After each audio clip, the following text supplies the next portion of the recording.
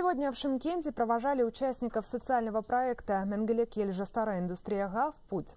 Молодежь Юга едет на север учиться. В рамках этой программы выделено 2050 грантов на обучение в вузах и колледжах Кустаная, Кокшетау, Актубе, Уральска, Павлодара, Петропавловска и Усть-Каменогорска. Как оказалось, в этих регионах население убывает с каждым годом. А в школах и детских садах, на заводах и фабриках наблюдается дефицит кадров. В то же время в южных областях страны отмечается их переизбыток. Сложно найти работу по специальности. Теперь в рамках нового проекта молодых людей обучат нужным профессиям, а после окончания учебы там же трудоустроят. Кроме того, будут решены их социальные вопросы.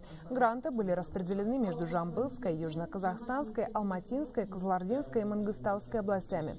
Самое большее число обладателей грантов в Южном Казахстане – 540 человек.